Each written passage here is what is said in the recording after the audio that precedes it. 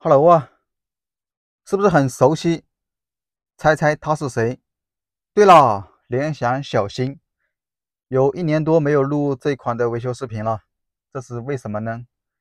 一年前录这台视频的时候，打开了局面，刚开始那是真的停不下来，因为它真的坏的太太多了，它连系统都进不去，现在。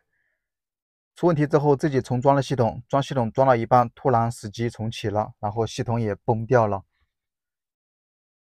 那我先直接给它换个硬盘，我们先看一下是什么问题吧。问题不用说，大家也知道，花屏、蓝屏、死机、不定时重启，各种现象乱七八糟的都有。这也是我很令我头疼的一点啊。故障不稳定，故障现象不明显。它如果是那种直接不开机的还好一点。像这种用一段时间蓝屏一次，用一段时间出一段问题，根本无从下手。我们现在都很少接这种电脑了，光测试都要好久。测了半天，终于出问题了。开到一半呢，直接黑了，屏幕没有显示，但是电脑还没有关机，灯还是亮的，简称死机了。既不蓝屏，也不重启，直接死机。强制关机再开之后，还是可以开起来的。依旧可以正常进入桌面，然后就这样不断的循环反复，在死机与重启之间来回徘徊。第二次开机呢，用的时间比较短一些，它很快就出现了蓝屏的问题。这个蓝屏呢，反正也没什么看的了，它里面拆开呢就一块光秃秃的主板，硬盘我已经换过了，肯定不关螺丝的事，肯定也跟键盘没有关系。指定是主板出了问题了。这一款主板呢，大家也都知道是低温吸的，所以大家自然的就把问题故障点都怪给低温吸上面。其实我觉得并不是这样的。等会我们拆开来看一看吧。重启了几次，现在已经进化到进不了桌面了。一加载完系统就直接死机。那直接把它主板拆出来咯。这个板子很薄。然后呢，还是 AMD 的 CPU，又是绑载了内存，各种 buff 叠满了，能不出问题吗？这类故障我们最开始修啊，都是重置内存的，那会可能出现一些花屏的问题，花屏或者重启，重置内存之后能好。但是过了一阵嘛，我们会发现 CPU 也容易虚焊，比如说像时间不准，或者是 CPU 反复接入，那肯定跟内存没关系了。后面我又开始重置 CPU。然后又过了一段时间，发现重置 CPU 也不行，有一些还是会再坏。所以呢，我们现在修这一款都是 CPU 与内存全部干一遍。但是有些时候，即使是 CPU 和内存全部干一遍，有那么一小部分它还是会再坏。哎呀，真的是坏死了，很令人头大的说。我们先取 CPU 吧，先把板子加上焊台，先把 CPU 给拿下来，对好位置，然后直接开始加热。这个板子呢，它是低温吸啊，LTS 的标志有的，所以呢，它拆它的温度不需要太高，就我们平常干有铅的温度就可以把它取下来了。低温吸也并不是原罪啊，用低温吸的电脑去了，哪个电脑像小新这样大面积的出问题呢？我觉得问题主要还是在板子薄与黑胶里面，黑胶呢增加了虚焊的可能性。板子薄嘛，它就容易变形，一变形加上黑胶一挤压，就更容易虚焊了。好，那么 CPU 我已经取下来了，焊盘现在拆的还好，黑胶并没有太多的残留在上面。拆完 CPU 之后，开始取内存，八个板载内存啊，挨个拆吧。取这款内存啊，我的建议是背面一定要悬空，因为它是低温吸。你正面一加热，背面的锡就融化了。此时呢，如果它一融化，背面有东西往上面一蹭，那那些小电阻、小电容啊，歪的连他妈都不认识了。拆还是蛮好拆的，低温锡不需要太高的温度就可以取下来。就是黑胶麻烦了一点，但是它如果没有黑胶的话，它也没这么容易坏嘛。八个内存全部取下来。反正气球一融化，轻轻一翘就起来了。先把这些芯片准备好，把上面残留的胶给清理干净。背面悬空了，所以上面的电容电阻都还在原位。这要是万一大片，那就真的头大了。相信修这款修的比较多的，肯定都遇到过这种问题。好，下面咱们来清理芯片，用烙铁把上面的锡给刮干净，黑胶呢也给它刮掉。这种黑胶还是比较好清理的，像 ThinkPad 那种真的是又臭又硬啊。联想或者是拯救者的黑胶还可以，可能配方不一样。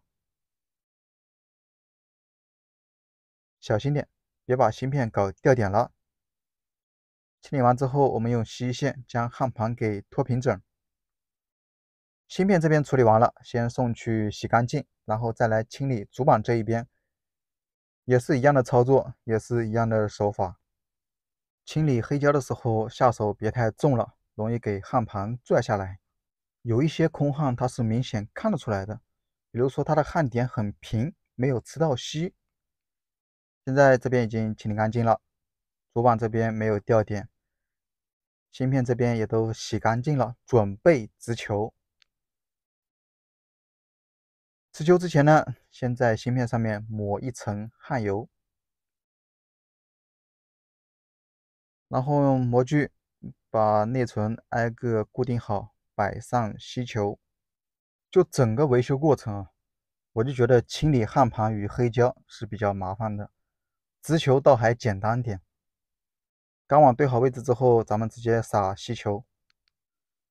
这个钢网啊，它是用来刮锡浆用的。但是我觉得还是用锡球好一点。正所谓山猪吃不来细糠，我也实在不会刮锡浆，所以只能撒锡球喽。把多余的锡球给扫掉，然后拿下钢网，锡球就立正的摆在了焊盘上面。摆好锡球之后呢，咱们直接把芯片放在加热台上面加热。轻轻放上去就可以了。这个是中温的锡球，所以呢不需要封腔，仅仅靠加热台就能让它融化。二百来度就融化了，是吧？挨个老老实实的归位了。然后是 CPU，内存这边我都已经织好了八个。CPU 的直球就简单多了，直接拿钢网对好位置，然后准备两把镊子。先撒上锡球，刮干净，然后换个方向，再撒一遍锡球，就可以起活了。锡球摆好之后，直接用风枪加热，挨个对着吹一遍。此时呢，锡球可能有点歪歪扭扭，我们可以在上面抹一层焊油，再吹一遍。这样的话，锡球就会变得立正的了。好的，CPU 织好了，内存也都准备就绪，焊盘这边也都清理干净了，先装 CPU 喽。在最后锡球融化时候，咱们可以用东西轻轻的推一推 CPU，让它可以回弹回来。这样的话，就说明底下的锡球已经融化焊接到位了。CPU 已经焊好了。焊的非常 beautiful，测一下没有短路，那就没事儿。接下来可以装内存了，八个内存挨个将它贴回去。正如我之前说的，这个板子薄，所以它的散热效果就不好，装芯片也比较轻松，直接就融化了。这个板子呢是上不了五千的锡球的，如果把温度干到那么高的话，整个板子我都怀疑它可能会直接炸开。上面的零件肯定哗啦哗啦往下掉啊！测了一下没有短路，我们可以上电看看。如果能跑码的话，那就可以了。不知道能不能一次搞定呢？点一下触发信号看看。OK，有跑马的动作，那就没问题了。像 CPU 和内存那么多个角位，如果有一个没焊好，那它就直接不跑马，或者是不开机。最近啊，我们这个大芯修腻了，看吧，这都是都是小新的大哥，AMD 拯救者，也都是干 CPU 的。大新修腻了，我们修小新耍耍。系统我也给它装好了，再来继续测试一下。像这种修完之后，一般测个一两天，没问题的话，那就暂时没问题了。它之前出问题的话，差不多跑个两三个小时就比较容易出问题。现在呢，连续开机三个多小时，CPU 也一直在满负载的工作，都没毛病啊。这种低压的 CPU 也跑不了多高的性能，温度还是有点高的，手摸出风口这一块还是很发热的。哎呀，没办法，这一款就这样了。测了一晚上都能稳稳的运行，那应该没问题了。再来最后一步啊，给 CPU 四个角封胶。我们就不往 CPU 底下灌黑胶了，咱也没有啊，就只要在 CPU 的四个角固定一层固化胶就好了。不过这个板子问题也确实蛮多的，修的比较多的 CPU 内存今天给它搞掉了，BIOS 也容易坏，CPU 供电也容易坏，硬盘座子也容易坏，哎，碰到的太多了，这一年修了有几百台了，什么问题都有。后续也连续开机开了一两天。都没有再蓝屏了，OK，咱们这一台就可以交货了。希望不要让我再看到你了。